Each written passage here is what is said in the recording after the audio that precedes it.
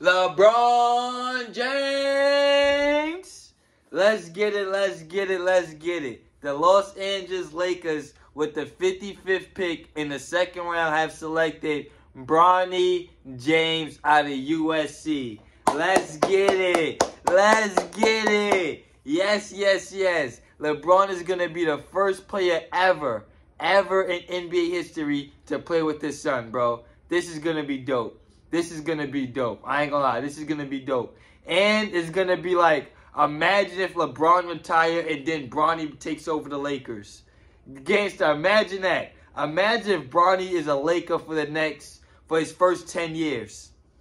Like, bro, that'd be crazy, bro. That'd be crazy. Right now, Bronny is not that. No, you feel me? He's not nothing special. So it's really, really great that he's on his father's team. Really, really great he's on his father's team. You feel me? Because I'm sure LeBron wants to develop him and LeBron wants him to grow, but LeBron also wants to win. LeBron wants to win right now. You feel me? So he can definitely win right now. They can definitely still win right now. Especially if they go out and get a Trae Young, fingers crossed, or to a less extent, a Chris Paul, make some mid adjustments to the roster, the Lakers can still win it. I ain't gonna lie. I feel like the Lakers can still be a championship team. Um, them drafting Bronny is gonna. It says a lot though. It says a lot. It says a lot. I can see nobody not trying to go play there now because I can see LeBron forcing them to play Bronny, even though he's not ready. He's clearly not ready. He's not even ready for regular basketball. He's not even. He's not nearly ready for playing as LeBron James' teammate. Like, he's not nearly ready for that. He's not ready for being LeBron James' son in the NBA. He's damn sure not ready yet for being LeBron James' teammate. That's a lot of pressure. That's a lot of pressure. You feel me? So, it's going to be a moment, though, but this is definitely going to be a, a fairy tale. I ain't going to lie. This is to be a fairy tale. It's going to be a Hollywood story. A Hollywood story, bro. Gangsta. The dude retired with his son. Imagine if they win a championship.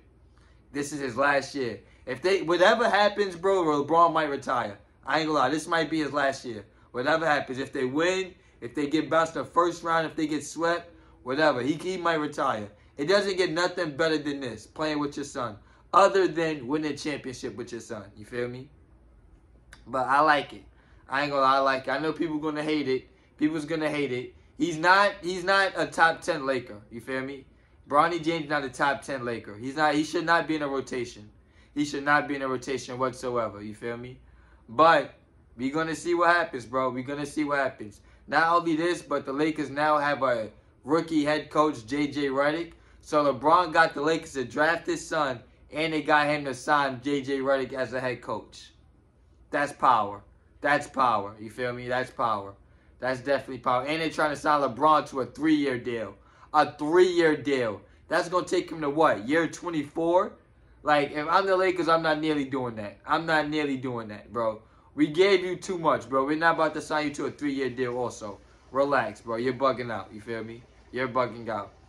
Um, but J.J. Redick as the head coach, I like J.J. Redick a lot. I liked him as a Clipper. I liked him as a Magic. I like him as an analyst. You feel me? A commentator. Everything J.J. Redick do, I damn near like. You feel me? This is going to be a lose-lose situation for him. This is a lose-lose situation for Bronny and for J.J. Redick. Because if J.J. Redick plays Bronny James, he's going to get criticized because it's like, bro, you're not trying to win. You're just trying to listen to LeBron. If he doesn't play Bronny James, then it's like, bro, why aren't you listening to your star player? Why aren't you playing him? He Give him a chance. Give him a chance. You feel me? So it's like a lose-lose situation. I ain't gonna lie. It's a lose-lose situation. We still don't know the team that the Lakers is going to have. You feel me? I don't think the Lakers is going to get super, super crazy. The Lakers is not about to get Chris Paul, Klay Thompson. They're not about to go out there and get nobody too crazy. You feel me? I hope the Lakers get a third star, though. We've tried the Lakers with getting nice role players. They got to the conference finals. You feel me? We fake won a ring with it in the bubble, but I feel like the Lakers need a third star. They need a third star, bro. A third star. I don't know who it is.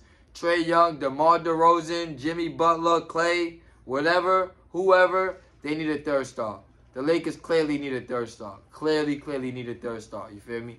And sadly, that third star is not Bronny James. That's my opinion. Let me know what you think in the comment section. Like, comment, share, subscribe. I'll be back with more.